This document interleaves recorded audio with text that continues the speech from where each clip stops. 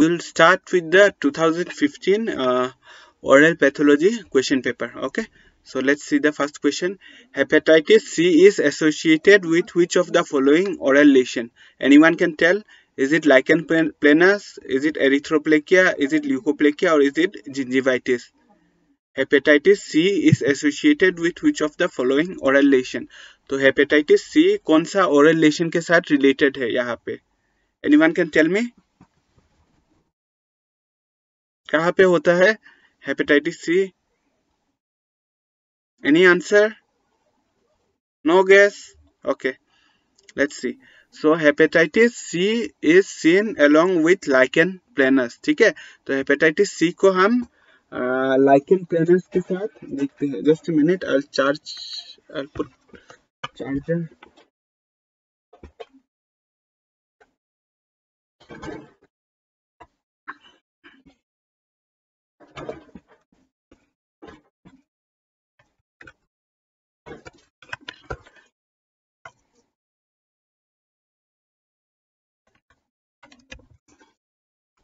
तो hepatitis C lichen planus के साथ देखते हैं okay so the correct answer here is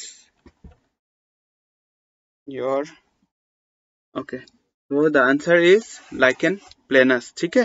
तो dermatical dermatological manifestation in hepatitis C along with lichen planus what are the other dermatological manifestation we see in dermatological means skin में और क्या क्या सारा हम देखते हैं इन hepatitis C. So we see mixed cryoglobulinemia, porphyria, cutaneous, lichen planus देखते हैं erythema multiforme will study, erythema nodosum will study.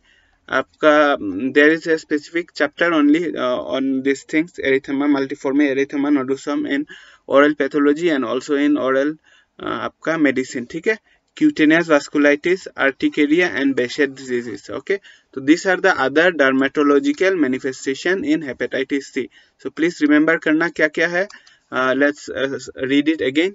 Uh, hepatitis C पे C बहुत सारा आ रहा है देखो यहाँ पे C okay क्रायोग्लोबुलिनेमिया ये याद रख सकते हैं cutanea tarda so cryoglobulinemia okay फिर क्यूटेनिया टार्डा आता है फिर लाइकन प्लेनस में भी सी है ना lichen planus okay then C को आप ई e बना सकते हो ना see you write C and then you make it E so erythema multiforme okay then erythema nodosum okay फिर सी से आ गया क्यूटेनियस वास्कुलाइटिस ओके और इसी सी को सी को अगर उल्टा कर दो, ऐसे कर दो तो इट बिकम्स यू आर्टिकेरिया ठीक है?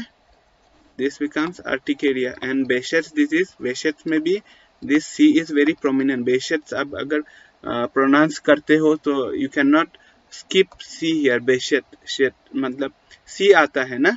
तो C is very prominent here also so C और ई e और ई e, यू याद रख लेना यहाँ पे हेपेटाइटिस सी में. तो cryoglobulinemia cutanea tarda lichen planus erythema multiforme erythema nodosum cutaneous vasculitis urticaria and Behcet disease okay so most of the uh, dermatological uh, manifestation are due to deposition of cryoglobulin immune complex in the vessel wall so zyadatar kyun hota hai due to cryoglobulin immune complex are deposited in the vessel wall okay systemic uh, diseases associated with lichen planus तो lichen planus के साथ hepatitis C भी होता है और Kesselman's tumor भी होता है so we'll study Kesselman tumor later but Kesselman's tumor is also related with lichen planus तो अभी हेपेटाइटिस सी दिया है, पर आपको कैसेलमैन ट्यूमर भी दे सकता है okay so a mother came with her child complaining of abdominal cramps please note abdominal cramps okay hypersalivation fever and rashes on skin on examination there were rashes on skin of palms and soles of feet along with generalised gingival inflammation and multiple oral ulcer the child may be suffering from कौन सा होगा यहाँ पे any one can tell pemphigus में abdominal cramp होता है क्या? Do we see abdominal cramp in pemphigus hypersalivation देखते हैं क्या? I don't think so heavy metal poisoning heavy metal poisoning yes heavy metal poisoning होगा तो let's study each of the options पहले study करते हैं psoriasis फिर pemphigus फिर lichen planus okay so this is uh, about lichen planus okay okay or uh, this is pemphigus actually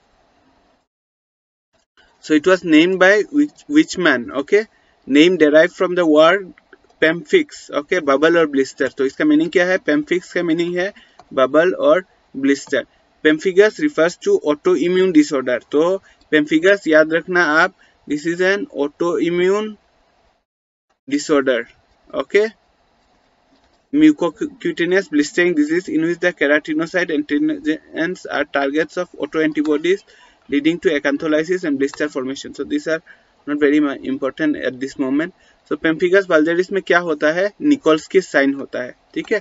So this is you can see Nikolsky sign lateral pressure split layer of the epidermis so epidermis का layer split हो जाता है ठीक है तो this is known as Nikolsky Nikolsky's sign pemphigus vulgaris में हम निकोल्स्कीस sign देखते हैं ठीक है देन सोरियासिस के बारे में बात करते हैं कुछ psoriasis more than 8 million American have psoriasis okay about 60% of people with psoriasis say it's a large problem in psoriasis usually is, is more prevalent more prevalent among caucasians caucasians का मतलब क्या है anyone can tell me caucasians मतलब क्या है white white descent हाँ हाँ white, white descent के जो होते हैं लोग white descent आपको पता है this uh, Bruce Lee had so many issues there ना जब वो he went to uh, America and then he was uh, acting in movies तो उसका एक इंटरव्यू में बोल रहा था कि this like I get to know this about Caucasians after this I saw this Bruce Lee's interview ना तो Caucasian क्या होता है means there is always about this Asian and Caucasian something dispute uh, there was na because he was a Asian and like the Caucasians did not wanted him to be there na तो Caucasians white white origin के white origin के होते हैं ठीक है there are several types of psoriasis psoriasis are of different types and plaque psoriasis is the most common so uh, psoriasis बहुत तरीके का होता है। Plaques psoriasis is the most common okay one in three people in psoriasis develop psoriatic arthritis so psoriasis में एक चीज़ दिखाई देता है, क्या है? सोरियाटिक आर्थराइटिस ओके ठीक है? तो कॉजेस ऑफ़ सोरियासिस ये जेनेटिक हो सकता है इम्यूनोलॉजिकल हो सकता है इंजरी के कारण हो सकता है इन्फेक्शन एक्सट्रीम टेम्परेचर ड्रग्स और स्ट्रेस के कारण भी हो सकता है, ठीक है? What is psoriasis a chronic skin condition that can cause red patches and scale okay तो I remember when I was in first year we had an teacher ना एनाटोमी का टीचर था तो she had some this thing हाथों में कुछ patches था, इसी तरह का। तो I have never heard about psoriasis at that time so our friends some of them were uh, saying uh, ma'am has got psoriasis. So i thought like they are so intelligent they can diagnose psoriasis even in first year. So yeah she had psoriasis i don't know it was psoriasis or some other thing but she had some patches in there in her hand.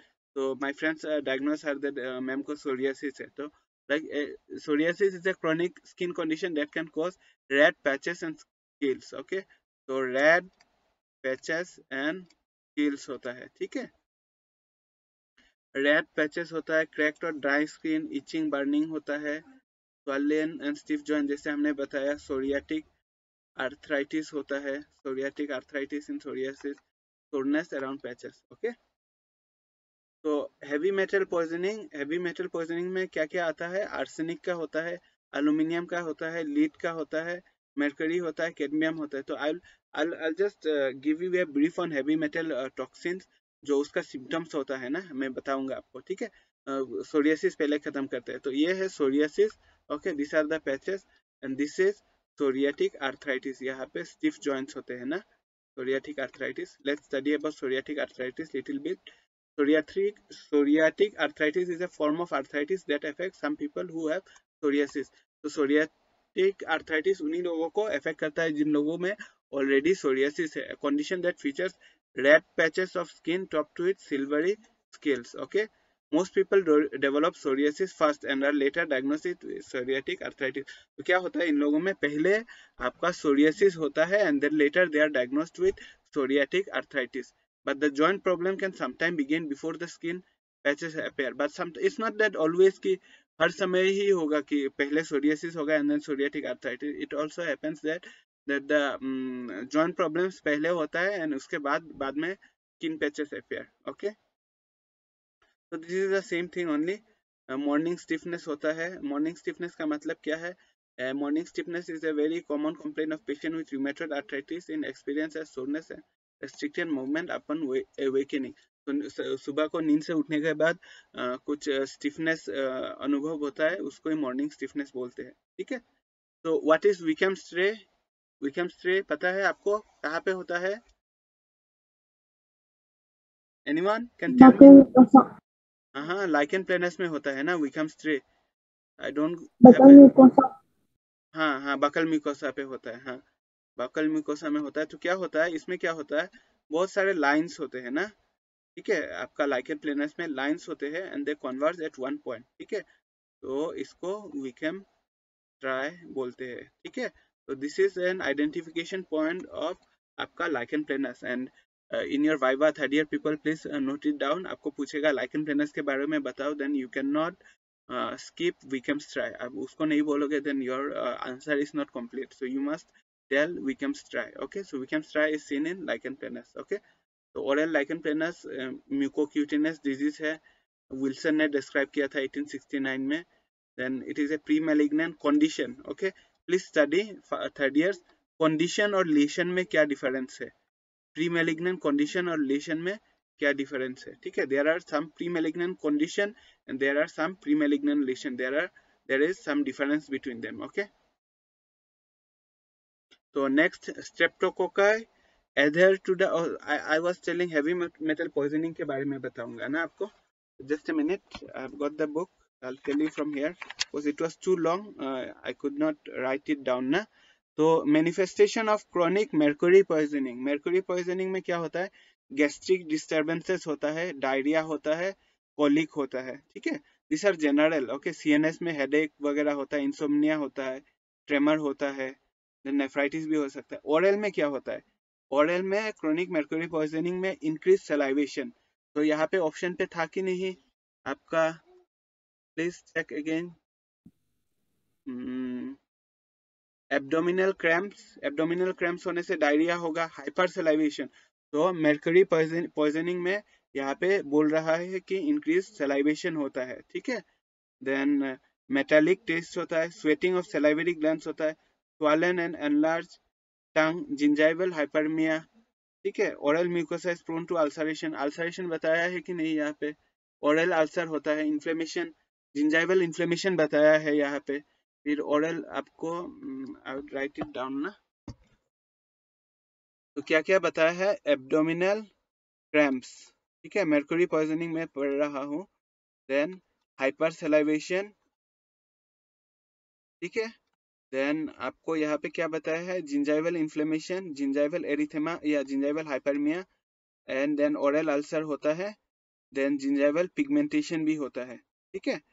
These are the symptoms oral findings of mercury poisoning okay then uh, lead poisoning में क्या होता है I'll go to lead poisoning lead poisoning में there is some black line okay तो lead को P B लिखते हैं ना तो बी से याद रखो ब्लैक लाइन इज़ देयर और उसको क्या बोलते हैं Barto Burton line okay Burton line बोलते हैं ठीक है blue black line along the gum margin तो गम के मार्जिन में जो गम्स होता है ना, जिंजाइवा होता है, उसमें एक ब्लू या ब्लैक ब्लू या ब्लैक लाइन होता है, ठीक है?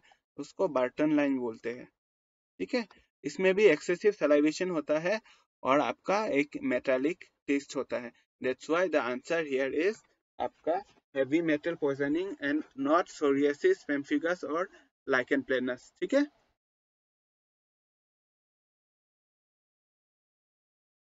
So streptococci adhere to the oral surface and contribute to caries development as they uh, anyone can tell penicillinase resistant produce acid during metabolism produce extracellular polysaccharide ferment carbohydrates कौन सा होगा यहाँ पे फॉर्मेन carbohydrate वो भी है but the accurate answer is not that पहले इससे पहले भी कुछ होता है फर्मेंटेशन तो होता है C extracellular polysaccharide polysaccharides like dextran and glucans okay तो ये सी है एक्स्ट्रा एक्स्ट्रा क्या था extra extracellular polysaccharide contribute to the plaque matrix consolidate consolidates attachment of cells and may localize fermentation product तो पहले इसका प्लैक मैट्रिक्स फॉर्म आता है उसके बाद में fermentation हो सकता है ठीक है bacteria are normally most populated in which area of state कहाँ पे सबसे ज़्यादा बैक्टीरिया होता है? Anyone can tell? Proximal Proximal. proximal. या proximal में सबसे ज़्यादा कैरीज होता है ना? ठीक है? This is no explanation is required ये जस्ट आपको लाइक थिंग टू रिमेम्बर ना? बैक्टीरिया कहाँ पे सबसे ज़्यादा होता है? प्रोक्सिमल में होता है। ठीक है? In brush biopsy brush is जो ब्रश बायोप्सी होता है biopsy will study in oral pathology अच्छे से पढ़ेंगे। Whole chapter is there on biopsy ठीक है? उसमें से एक क्वेश्चन भी आता है आपको फोर मार्क्स या फाइव मार्क्स का। तो there are different types of biopsy उसमें से एक है brush biopsy where we use a brush ठीक है? एक ब्रश को लेते हैं and we rotate on the skin ठीक है? जहाँ से हमको स्पेसिमेन लेना है। तो इसमें से कौन सा करेक्ट है इन ऑप्शन में? Use to apply fixative agent to cell rotated at the center of lesion 4 to 5 times started at the normal tissue and moved over the lesion once used to pick the cells incised with a scalpel तो कौन सा होगा यहाँ पे B B. B हाँ rotated at the center for of lesion 4 to 5 times ठीक है तो this is a brush ये देखो brush biopsy ठीक है we do for uh, taking biopsy so it is rotated firm pressure with circular brush is applied rotated five to ten times four to five five to ten भी हो सकता है light abrasion okay फिर the cellular material picked up by the brush is transfer to a glass slide preserve and dried तो क्या करते हैं? ये ब्रश में जो सब हम सेलुलर मटेरियल लेते हैं, उसको ग्लास स्लाइड में ट्रांसफ़र करते हैं, ठीक है? Then it is preserve and dried फिर उसको हम माइक्रोस्कोप के अंदर देख के डायग्नोस करते हैं, ठीक है? थीके? Which of the following originate from the three germ layers, namely ectoderm, mesoderm and endoderm? तो इनमें से सा teratoma teratoma हाँ टेराटोमा वेरी गुड टेराटोमा है तो let's study about branchial cyst thyroglossal cyst इसके बारे में भी थोड़ा पढ़ लेते हैं ना teratoma is a tumour derived from one or more of the three germ layers okay तो टेराटोमा तीनों germ लेयर से derive होता है branchial cyst branchial cyst is line by endoderm okay? तो ब्रांकियल सिस्ट जो होता है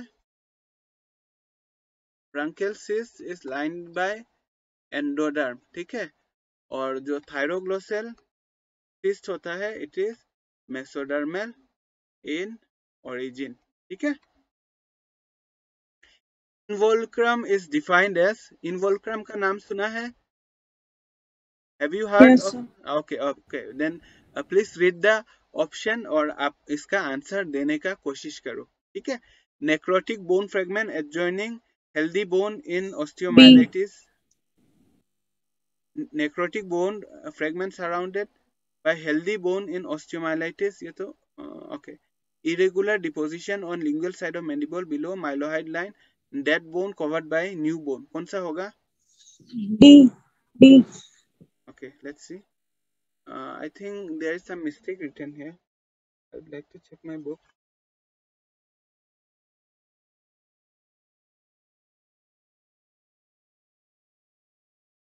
हाँ ये ये बी है. Okay necrotic bone fragment surrounded by healthy bone ये देखो एक नेक्रोटिक बोन फ्रेगमेंट है. नेक्रोटिक मतलब मर गया है ठीक है? Surrounded by a healthy bone यहाँ पे एक हेल्दी बोन है ठीक है? तो necrotic bone surrounded by a healthy bone in osteomyelitis osteomyelitis होता है, ठीक है? ऑस्टियोमाइलाइटिस में होता है तो let study in detail and involucrum is a complication of osteomyelitis and represents a thick sheet of periosteal new bone surrounding a sequestrum sequestrum मतलब क्या होता है? डेड बोन होता है ना? सिक्वेस्ट्रम एक डेड बोन है, सोचो, उसको सराउंड करता है आपका इनवोलुक्रम ठीक है? Sequestrum is a piece of dead bone that has become separated during the process of necrosis तो नेक्रोसिस हुआ उसके बाद क्या हुआ? जो सिक्वेस्ट्रम है वो सेपरेट हो गया। ठीक है? It is the complication of osteomyelitis. Hutchinson tried includes all of the following except कौन सा है? यहाँ पे? Flat nasal bridge. Flat nasal bridge तो हचिंसन ट्राइड हम कहाँ पे देखते हैं? Syphilis. कौन सा syphilis how many types of syphilis are there एक तो होता है प्राइमरी सिफिलिस congenital टर्शियरी फिर कॉन्जेनाइटल ओके तो ये हम कॉन्जेनाइटल न्यूरोसिफिलिस भी होता है। तो we see Hutchinson triad in congenital syphilis तो इसमें क्या होता है? सेंसोरिन्यूरियल डेफनेस होता है पेगलेटरल्स होता है और कॉर्नियल इन्फ्लेमेशन या इसको इंटरस्टेशियल केराटाइटिस भी बोलते हैं ओके तो इंटरस्टिशियल केराटाइटिस होता है फिर आपका हचिंसन स्थित होता है वेस्टिबुलर डेफनेस होता है सेडल नोज़ और फ्लैट नेसल ब्रिज जो फ्लैट नेसल ब्रिज है it is also found in syphilis but it does not comes in Hutchinson triad तो फ्लैट नेसल ब्रिज जो है इट इज़ ऑल्सो आपका कॉन्जेनाइटल सिफिलिस में it is one of the symptom but it does not come in Hutchinson triad okay तो Hutchinson triad ये ये याद रखना ये मंकी बुरा मत देखो, बुरा मत सुनो, बुरा मत कहो। ओके, बुरा मत देखो। तो इंटरस्टेशियल केराटाइसिस बुरा मत सुनो सेंसरी न्यूरल डेफनेस एंड बुरा मत बोलो। बोलो मतलब मुँह, इसका दांत इतना गंदा है कि वो छुपा रहा है। ठीक है तो Hutchinson street okay? Let's see pictures this are Hutchinson street okay? ये हचिंसन स्ट्रीट है। ठीक है? Back shape notch incisor notch होता है ना इसमें। देन इंटरस्टेशियल केराटाइसिस एंड यहाँ पे eighth nerve deafness okay House Brackmann scale is use for evolution of which nerve function House Brackmann एक स्केल होता है, ठीक है? जैसे हमारा इंडेक्स होता है ना पब्लिक हेल्थ डेंटिस्ट्री में, वैसे एक हाउस ब्रेकमैन स्केल है, जिसका आपका वन टू सिक्स वो है, ठीक है? तो ये किस लिए इवोल्यूशन ऑफ़ विच नर्व कौन सा नर्व का फ़ंक्शन चेक करने के लिए यूज़ करते हैं हम? हाउस ब्रेकमैन स्केल सुना है इसके बारे में पहले? Anyone know okay it is use for facial nerve okay facial nerve House Brackmann scale is use for evaluation of facial nerve it is the most commonly use tool for the clinical evaluation of facial nerve ठीक है? Nerve function first describe by 19 in 1985 by doctor John House and brackman okay Derald E Brackmann. तो दो दो doctor थे, House and Brackmann. तो उन्होंने बताया, इसमें स्कोर्स होता है बिटवीन वन एंड सिक्स। तो this is the House Brackmann grading तो इसमें वन टू सिक्स होता है, three, four, five, six. This will not come in your exam just for the purpose that you got to know I have kept this slide, okay? So house brackman grading, okay? Sialogogue is an agent use to क्या करता है?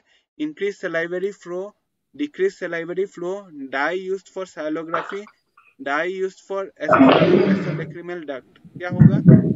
Increase salivary flow हाँ हाँ increase salivary flow होगा। ठीक है? Sialogogue is use in the treatment of xerostomia xerostomia का मतलब क्या है? जेरोस्टोमिया का मतलब क्या है? Drying of mouth. Dry drying of mouth उसका सिम्टम्स क्या होता है? कुछ सिम्टम्स बताओ। Caries. Caries होता है ना? The, the, the people are more prone to caries. तो सियालोगॉग is used in the treatment of xerostomia. अब इसका एग्जांपल क्या है? सियालोगॉग का पिलोकार्पिन है चीविंग गम है मेल्टिक एंड एस्कॉर्बिक एसिड तो प्लीज़ रिमेम्बर पिलोकार्पिन आपका pilocarpine chewing gum maltic and ascorbic acid okay? ठीक है? तो true regarding dentigerous cyst is all except इसका पढ़ो और बताओ OPG is a diagnostic aid use करते हैं कि नहीं डेंटिजरस सिस्ट डायग्नोसिस करने के लिए? डेंटिजरस सिस्ट क्या होता है? आ- आप बताओ तो किसी को पता है तो tell me